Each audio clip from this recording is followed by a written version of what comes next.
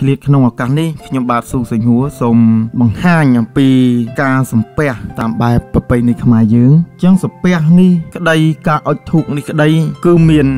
របៀបមានជាប្រពៃណីមកដែលយើងកូនខ្មែរទាំងអស់ត្រូវដឹងត្រូវចងចាំហើយយើងធ្វើទៅតាមប្រពៃណីនោះរបៀបសំពះខ្មែរយើងនេះតែយើងសំពះគោរពមានដូចជាគោរពមិត្តភ័ក្តិគោរពឪ ពុកម្ដាយគោរពបួងសួងផ្ដល់ប្រតនត្រ័យអញ្ចឹងមានរបៀបនៃការសំពះនោះផ្សេងផ្សេងគ្នាបើយើង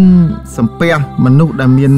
វ័យតណៈស្មើគ្នាឬក៏ជាមិត្តភ័ក្តិនឹងគឺយើងបន្នំដៃនឹងគឺធំដើមទ្រូងកពស់បន្នំដៃនឹងគឺធំដើមទ្រូងតែបើសិនជាយើងសំពះគោរពមនុស្សដែលមានវ័យចាស់ជាង ដែលមានអាយុច្រើនជាងយើង មានតណៈធំជាងយើងឬក៏ជាចវាយនាយរបស់យើង គឺយើងត្រូវយកចុងនៃម្រាមដៃដែលបន្នំនឹងយកមកត្រឹមចកាក្រោមធ្នឹមបបេមាត់ដល់ទៅពេលយើងសំពះគោរពឪពុកម្ដាយជាដូនជាតា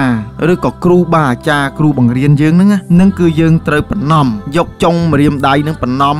កពស់ត្រឹមចុងច្រមុះលើធ្នឹមបបេមាត់ខាងលើ ដល់ទៅពេលយើងសំពះគោរពចំពោះព្រះមហាក្សត្រឬក៏ជាវត្ថុស័ក្តិសិទ្ធិកន្លែង ជាទីសក្ការៈបួងសួងទាំងឡាយគឺយើងសំពះគោរពណាគោរពស្ដេចឬក៏គោរពទីសក្ការៈអីផ្សេងផ្សេងដូចជាកន្លែងអ្នកតាកន្លែងអីផ្សេងផ្សេងហ្នឹងនឹងគឺយើងត្រូវយកចុងរៀមដៃបំណំសាពះនៅត្រឹមប្រជុំចុងចើមដល់ទៅពេលយើងគោរពចំពោះគុណប្រតនត្រ័យប្រពុតពធប្រសង់គោរពយ៉ាងក្រៃលែងយើងត្រូវយកបំណំបំណំរៀមដៃយើងនឹងទៅសំពះកន្លែងបំណំនឹងគឺត្រូវដាក់នៅជើងសក់របស់យើង នៅលើថ្ងាសរបស់យើងអញ្ចឹងខ្ញុំឃើញថាការសំពះនេះខ្ញុំឃើញថាមនុស្សជាច្រើនមិនបានជ្រាបមិនបានដឹងពីក្បួនរបៀបសំពះនេះទេចេះតែសំពះប៉ាតណាប៉ាតណីសំពះប្រសង់ឬក៏ទៅវត្តអីថ្វាយបង្គំព្រះអីគឺចេះតែសំពះឲ្យតាពះសំពះយកដៃត្រឹមទ្រូងត្រឹមអីហ្នឹងក៏ខុសដែរគឺសំពះហ្នឹងគឺយើងត្រូវសំពះយកចុងនៃម្រាមដៃនេះបំណំរបស់យើងហ្នឹងទៅដាក់នៅជើងសក់នោះនៅលើថ្ងាសរបស់យើងនោះអញ្ចឹងបានថាការសំពះនេះគឺ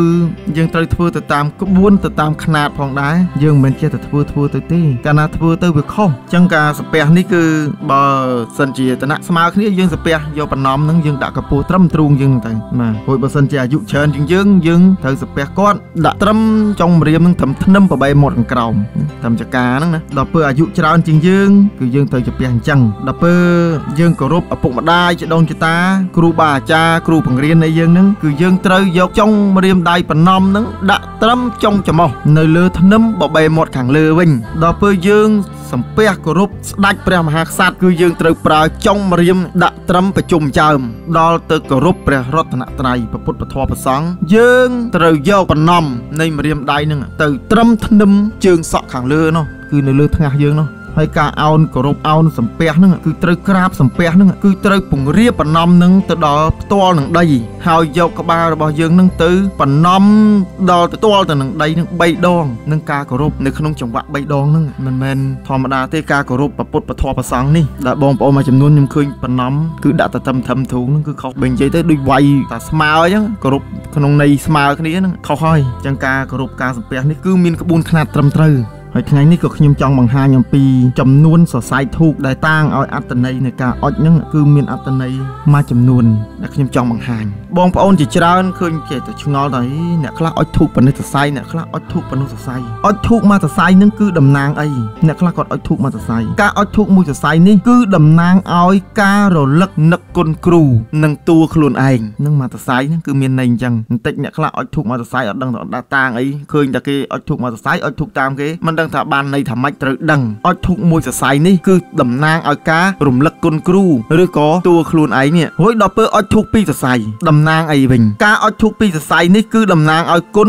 មេដាបិតាពុកម្ដាយនឹងឯងដល់ទៅការអុជធូប3សរសៃគឺការគោរពបូជាប្រតនត្រ័យដែលមានពពុទ្ធពធប្រសង់ឬក៏អាចជាការគោរពដល់មេដាបិតានិងគុណគ្រូផងដែរដល់ទៅពេលការអុជធូបចំនួន4សរសៃធូបគឺតំណាងឲ្យធាតុទាំង4ទឹកដីភ្លើងនិងខ្យល់តន់ទេបងប្អូនកន្លែងនេះដល់ទៅពេលអុជធូប5សរសៃចំពោះការអុជធូប5សរសៃនឹងគឺការគោរពព្រះទាំង5ព្រះអង្គគឺព្រះកតុសន្ធោប្រកោណាកមនោប្រកាសបោនិងព្រះពុទ្ធសាមណគោដមហើយនឹងព្រះពុទ្ធទី5ដែលនឹងត្រាស់ដឹងក្នុងពេលអនាគតនេះគឺព្រះសិអាយមត្រីឯងដដល់ទៅការអុជធូប7សរសៃគឺការគោរពញាតិការទាំង7សន្តានថ្នាក់លើ3ជាន់គឺខាងឪពុកម្ដាយចដូនចតានិយាយទួតតាទួតថ្នាក់ក្រោម3ជាន់មានកូនចៅចៅទួតបូករួមទាំងខ្លួនយើងទាំងអស់សរុប7សន្តានដែលខ្មែរយើងតែងតែហៅថាញាតិការទាំង7សន្តាននឹងឯងនេះគឺជាការអុជធូប7សរសៃចំពោះការអុជធូប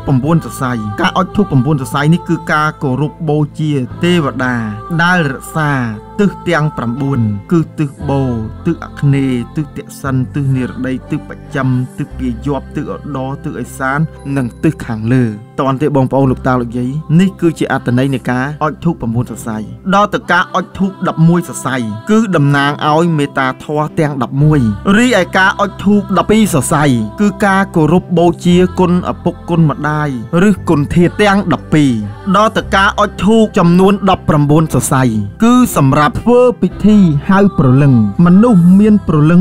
19រួមទាំងប្រលឹងធំនិងប្រលឹងតូច ការអុជធូប21សរសៃគឺគោរពបូជាដល់គុណឪពុក និងការអុជធូប33សរសៃគឺការគោរពបូជាគុណឪពុកម្ដាយដូចនេះទាំងរបៀបសំពះទាំងប្រពៃណីនៃការអុជធូបសូមបងប្អូនលោកយាយលោកតា